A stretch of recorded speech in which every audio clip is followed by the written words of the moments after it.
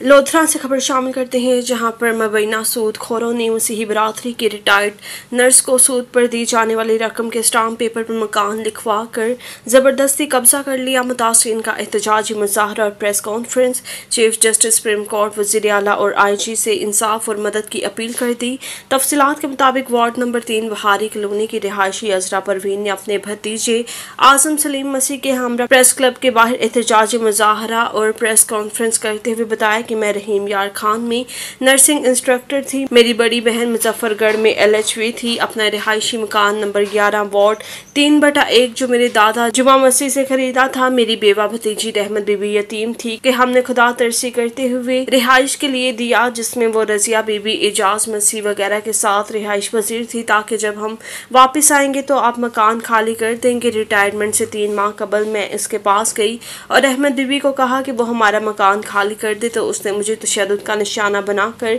मेरे पाँव की उंगली तोड़ दी और गालम गलोच की और कहा कि जो कुछ करना है कर लो, मैं ये घर नहीं छोड़ूँगी। सिविल और सेशन कोर्ट ने मेरे हक में फैसला दिया। दीगर फैसले भी मेरे हक में आए हैं, जिसके बाद हमने अजरार डिग्री का केस दायर किया। बीस तारीख को पेशी पर जज के चैम्बर गए तो वहाँ पता चला कि अरशद खान, सरदार बलोच जो मुबैना सूदखोर है, हमने कवल मसीह के सात लाख रुपए देने थे जो हमें तीन चार माह से तंग कर रहा था और कहा कि अरशद खान वगैरह से सूद पर पैसे लेकर मेरी रकम ले दी। कवल मसीह ने अरशद बलोच के साथ हमारा एक माहदा पैसों की सूरत में कराया। हमने उनसे पाँच लाख लिए, जबकि दस लाख हमने वापस करने थे। पचासी हज़ार महाना किस्त के हिसाब से नज़र खान और अरशद बलोच ने पंजाब बैंक से अजरा परवीन के नाम से बारह सौ रुपये का एक खाली स्टाम्प दिया उसके अलावा सौ रुपये वाले स्टाम्प पर हमें तहरीर ये दी गई, जिसमें दस लाख के महदा इकरारनामा पर अपने ही भाइयों की गवाही लगवा ली और हमें कह दिया कि आप पचासी हज़ार महीना किस्त देंगे, हमने किस्त अदा कर दी है।